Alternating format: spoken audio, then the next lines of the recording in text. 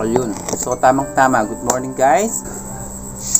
Nahihirapan ka ba sa mga paggawa ng sewing pattern o nababagot sa mga pagkahaba-habang instruction na kuminsan ang gulo-gulo at nawawalan ka na sa sarili mo?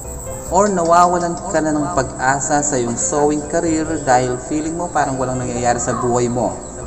Or dili naman kaya nangangarap ka, nagbabalak na magkapagtayo ng sariling patahian business someday? Well, I must say, don't give up. Kasi kapag kumito ka, hindi mo maaabot ang iyong mga pangarap.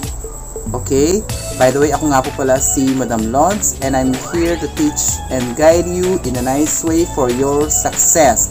Dahil sa aking channel, nagtuturo po ako ng mga iba't ibang mga kaparaanan, sewing tutorials, pattern making tutorials, and even drawing tutorials dahil isa rin po akong artist, a master cutter, and a pattern maker of my own shop since 2015. Uh, I would like to share all of these things to you just for free.